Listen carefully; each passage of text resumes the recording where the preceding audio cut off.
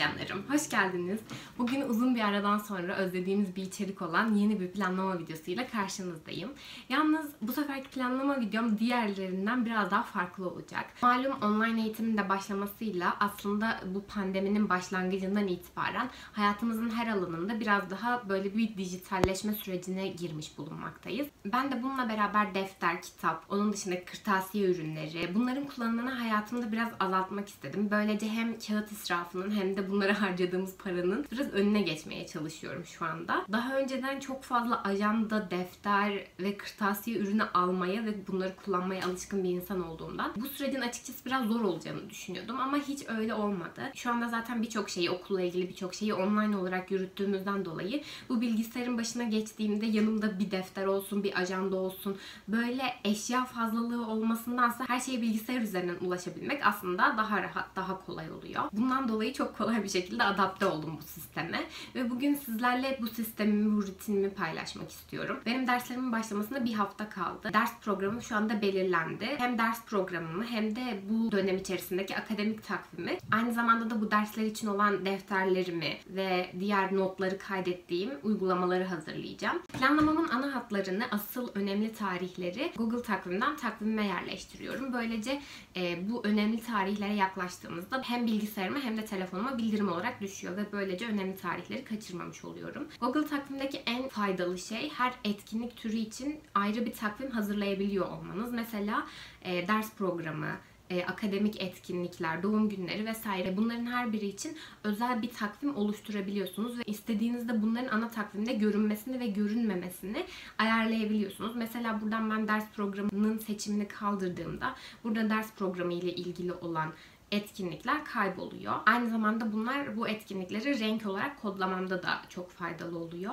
Her etkinliğin kendine özgü bir rengi oluyor. Böylece de bu etkinlikleri diğerlerinden ayırt edebiliyorum gerektiğinde. Şimdi öncelikle ben ders programımı yerleştirmekle başlayacağım yine takvimime. Kendiniz eğer ders programı için ayrı bir takvim oluşturmak istiyorsanız burada başka bir takvim ekle deyip yeni takvim oluştur diyebilirsiniz. Burada takvimin ismini belirleyip yeni bir takvim olarak buradaki takvimlerinizin altında görebilirsiniz. 12'sinden itibaren yazmaya başlayacağım şu anda. İki defa tıkladığınızda zaten yeni bir etkinliği hemen başlatıyor. Biyoinformatiğe giriş dersim var pazartesi günleri. Bunu şuradaki alttaki bu takvim kısmından ders programı takvimine ekliyorum. Aynı zamanda bunun saatini belirliyorum. Tekrarlanmaz kısmını her hafta pazartesi günü şeklinde ayarlıyorum. Bu şekilde diğer derslerimi de e, yerleştireceğim. Bunların her birine bildirim eklemek istiyorum. Bir saat önceye ayarlayacağım. Online ders olduğu için derslerin saatini bile unutabiliyoruz evde otururken.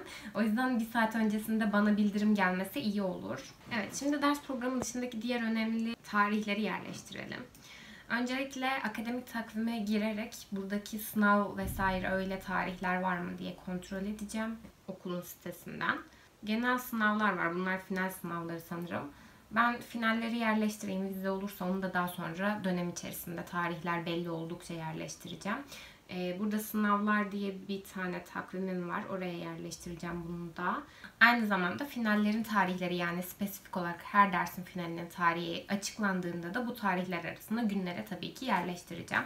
Sadece şu an genel bir bakış açısı olsun diye bunu yerleştirdim. Onun dışında e, benim akademik diye bir takvimim var. Buraya da okulla ilgili ders programı ve sınavlar dışındaki tarihleri yerleştiriyorum.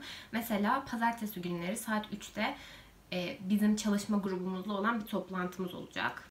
Evet böylece şimdilik bu takvimin genel hatları belli olmuş oldu. Dediğim gibi dönem içerisinde yeni önemli tarihler belirlendikçe buradaki takvimlerime yerleştirmeye devam edeceğim. Hocalarımız bize slide PDF şeklinde kaynaklar veriyor. Bunları ben Google Drive'a yüklüyorum. Benim bu PDF'leri ve slaytları bilgisayarın kendisine değil Drive üzerinde kaydetmemin sebebi her yerden ulaşılabilir olması. Siz buraya bir belge yüklediğinizde başka bir bilgisayardan Drive hesabınıza bağlanıp ona ulaşabiliyorsunuz.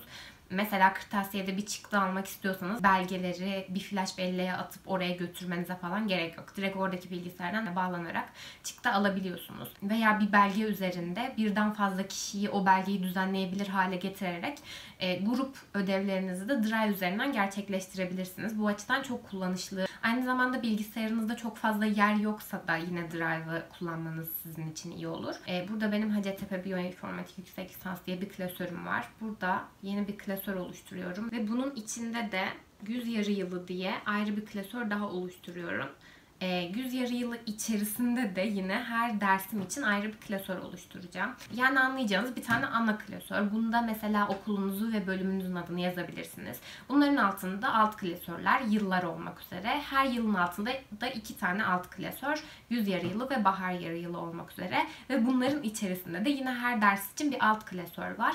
Ve bu klasörlerin içerisinde de hocanın gönderdiği ders materyallerini teker teker yerleştiriyorum. Böylece her şey düzenli bir şekilde Drive'ımda durmuş oluyor.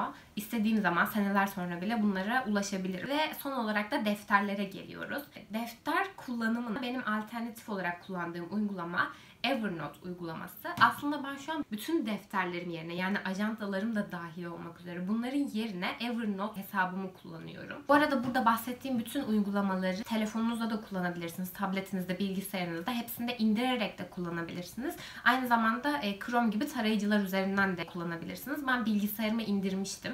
Bütün bilgisayarlara indirilebiliyor. Windows, Mac hepsi için sürümleri var. Evernote uygulamasının içerisinde farklı not defterleri oluşturabiliyorsunuz. Her bir ders için yeni bir not defteri oluşturacağım. Bunların her birini tek başına bir defter olarak düşünebilirsiniz. Nasıl bir tane ajandamız var, her ders için bir tane defterimiz var. Bunlar da yine aynı yere denk geliyor. Bu not defterlerinin içerisinde yeni notlar oluşturuyorsunuz. Buradaki notların da her birini aslında bir sayfa olarak düşünebilirsiniz. Herhangi bir not oluşturduğunuzda size yazmaya başlayın, dosyaları sürükleyin veya şablon seçin diye bir yazı çıkıyor. Buradan şablon seçine tıklıyorum ve burada da okul için kısmına geliyorum.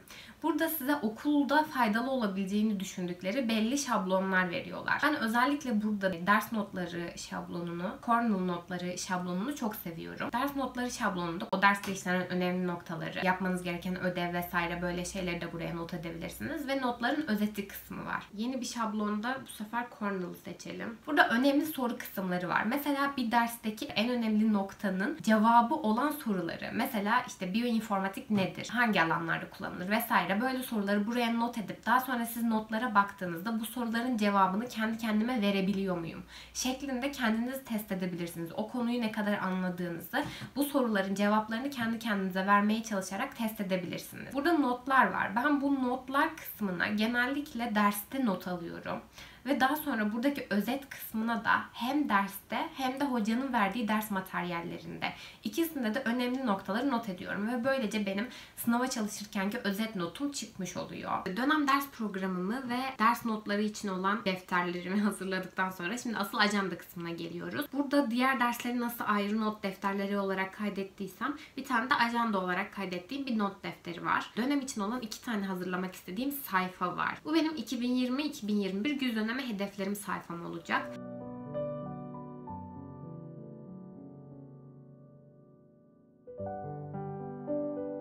Gördüğünüz gibi burada oldukça geniş bir dil kullandım. Bunların biraz daha ayrıntısına birazdan Ekim ayı planlamasında geleceğiz. Bunlara tabii dönem içerisinde farklı hedeflerim oldukça yenilerini de eklerim. Ve bu dönem sonunda da buradan e, gerçekleştirdiğim hedefleri bu şekilde işaretleyerek listemden kaldırmış olacağım. Bu sayfamda ders notları sayfası olacak. Ben bütün derslerdeki her hafta işlenen ders notlarını böyle genel bir tabloda gözlemleyebildiğim bir sayfa yapmayı seviyorum. Böylece mesela kaçırdığım bir hafta olursa, ders notunu çıkarmayı unuttuğum bir hafta olursa direkt bu tabloya baktığımda gözlemleyebiliyorum. E, burada ekle kısmından yeni bir tablo oluşturdum. 5 sütunlu 2 satırlı bir tablo oluşturdum. Buradaki üstteki hücrelere derslerimin isimlerini yazacağım. E, ve altındaki hücreye ise her hafta işlenen konunun başlığını, yine şu şekilde işaretlenebilir bir liste halinde yazacağım. Bu konunun notunu eğer çıkardıysam yanındaki bu kutucuğa bir tik atıyorum.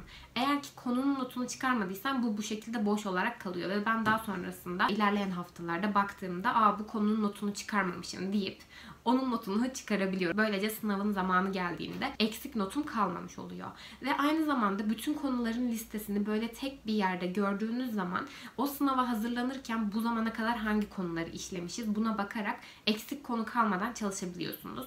Bu yüzden bu ders notları sayfası benim ajandamda olmazsa olmaz bir sayfa. Gelelim Ekim için olan planlamamızı yapmaya. Aslında ben şu anda biraz geç kaldım. Ekim'in birinci haftasını geçmiş olduk ama daha sonraki haftalar için yapacağım planlamamı. Alışkanlık takibi sayfasıyla başlıyorum. Benim yaptığım gibi kendiniz bir şablon da oluşturabilirsiniz veya burada Evernote'un kendi şablonlarından da seçim yapabilirsiniz. Alışkanlık takibi için çok kullanışlı bir şablonu var. Ben bunu seçeceğim. Yaşam için kısmındaki alışkanlık izleyici kalıbını, şablonunu kullanacağım. En başta yaptığım hedeflerim sayfasındaki kısımları aylara bölmeyi seviyorum. Diyelim ki Arda kendini geliştir diye bir hedefim var benim. Bunu aylara bölmek istiyorum. Ekim ayında ben döngüleri öğrenmek istiyorum. Bu 30 günde gerçekleştirmek istediğim hedefi buraya yazıyorum ve bunun için günlük olarak takip etmek istediğim alışkanlığın başlığını yazıyorum. Bir ay boyunca her gün bu alıştırmayı yaptığım günlerin yanındaki bu kutucuğa işaret koyacağım. Bunun altındaki şu hücreyi de ben şunun için kullanıyorum. Diyelim ki o gün alıştırma yaptım. Ne benim için yararlı oldu? O gün alıştırma yapamadıysam yarın bunu telafi etmek için ne yapabilirim gibi e, notlarımı herhangi bir bu konuyla ilgili olan notumu da aşağıdaki hücre kısmına kaydediyorum. Daha sonra başka alışkanlıklarım için bunun tamamını kopyalayıp aşağıya tekrardan yapıştırıyorum.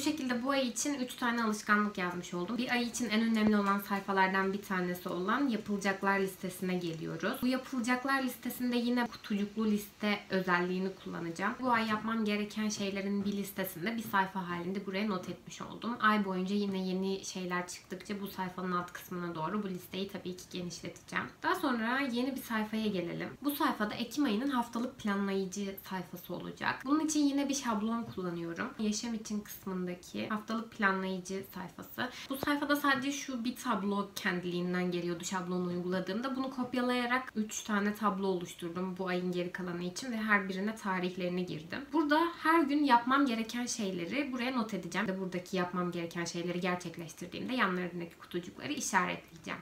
Böylece sizlerle beraber yeni döneme hazırlanmış olduk.